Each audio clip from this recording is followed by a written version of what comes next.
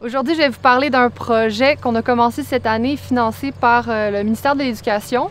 C'est un projet euh, en maraîchage sol couvert qui utilise des techniques de non-travail du sol puis de paillage avec euh, matière organique. C'est un projet qu'on a créé suite à un atelier organisé par l'AKP à l'automne 2019. un atelier dans lequel il y avait invité un conférencier français pour nous parler de la méthode qui est bien populaire en France de maraîchage qu'on dit sol vivant. Euh, donc, euh, suite à cet atelier-là, on s'est concerté avec certains producteurs euh, maraîchers biodiversifiés, dont Léon Bibot, Sébastien Alix et Francine Pomerleau, pour vraiment créer un projet qui répondait aux interrogations des producteurs en ce moment, c'est-à-dire comment développer des méthodes qui permettraient de réduire le travail du sol en maraîchage biodiversifié. Le projet qu'on fait en ce moment, c'est vraiment un projet qui compare quatre différents pays avec un témoin, euh, si on veut, conventionnel bio, c'est-à-dire sol à nu avec utilisation d'engrais verts et de travail de sol. Euh, les quatre paillis organiques qu'on compare sont la paille de panique érigée, euh, le broyat de branche, les feuilles broyées, puis le foin ensilé.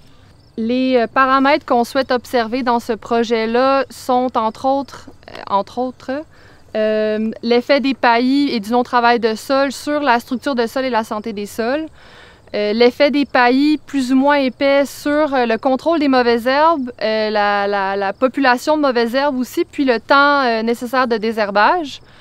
Ensuite, on veut observer l'effet des paillis puis du non-travail de sol sur le rendement en culture légumière. Cette année, on cultive des laitues.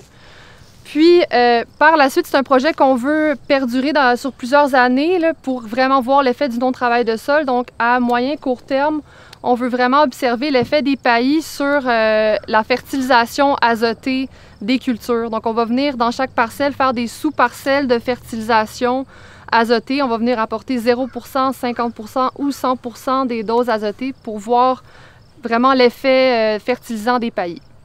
Un autre paramètre qu'on veut étudier, c'est la population de vers de terre euh, au cours des années.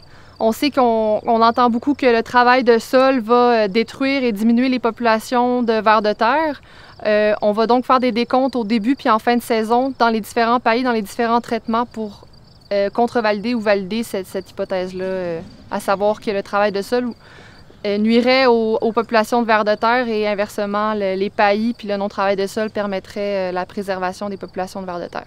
Pour enchaîner sur les vers de terre, il y a eu des inoculations de vers de terre sur la ferme parce que euh, ben, les pratiques culturelles étaient peut-être pas les plus favorables dans les années précédentes et les travaux de nivellement sont souvent assez, assez rudes sur ces populations-là. Et euh, je dois dire que le témoin travaillé pour l'instant, c'est là où j'ai vu le plus de de terre parce que je ne suis pas allé voir en dessous des paillets, mais en sarclant, j'en ai vu beaucoup. Donc, euh, donc euh, pour l'instant, ça regarde bien pour la présence de de terre. Peut-être pour rajouter sur les observations qu'on a fait, on a le traitement foin. On voit clairement la grosseur des laitues. Je ne sais pas si vous êtes capable de me suivre.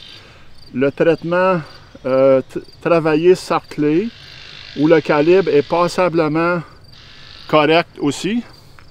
Et les trois traitements suivants qui sont le panique érigé, les feuilles et euh, les, copeaux d'élagage, euh, broyat de branches, bois raméal, ça s'appelle de différentes façons où généralement les calibres sont plus petits.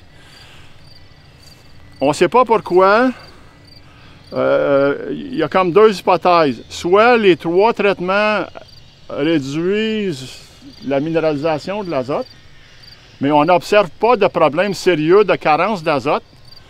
Mais les laitues, euh, soit les laitues poussent plus lentement avec ces traitements-là.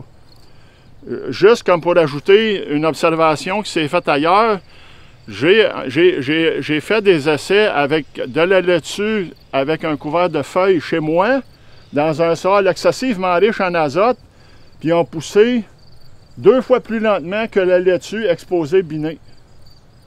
Et, donc, je ne suis pas sûr que c'est un facteur euh, d'effet sur le carbone, sur la minéralisation de l'azote. Je vais peut-être développer ça un, peu plus parce que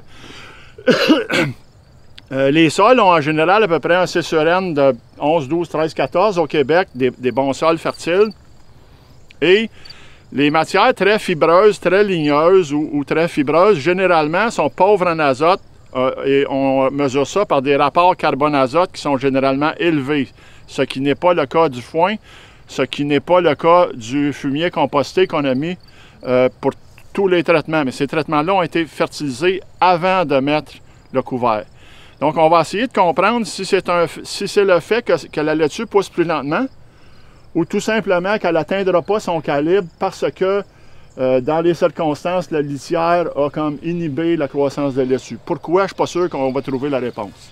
Dans les différents paramètres qu'on souhaite étudier euh, dans ce projet-là, il y a aussi la, température puis l'humidité des, sols selon les différents pays. Donc, on a installé euh, des sondes température-humidité dans quatre des cinq traitements. pour l'instant, on observe quand même des grosses différences dans les températures et l'humidité des sols euh, selon les traitements. Les, sols à nu euh, vont avoir des, températures beaucoup plus hautes en journée, mais des, écarts beaucoup plus grands lors de, des soirées. Donc, on voit des écarts de au moins 10 degrés Celsius jour-nuit pour les témoins sols à nu comparé aux euh, traitements paillés, que ce soit avec du broyat de branches, des feuilles ou du foin ensilé. Donc, pour les, pour les traitements qui sont paillés, on observe des écarts beaucoup, beaucoup plus diminués d'environ 5 degrés Celsius, quoique dans le jour, les températures vont jamais atteindre les seuils des, aussi élevés que les températures des planches témoins.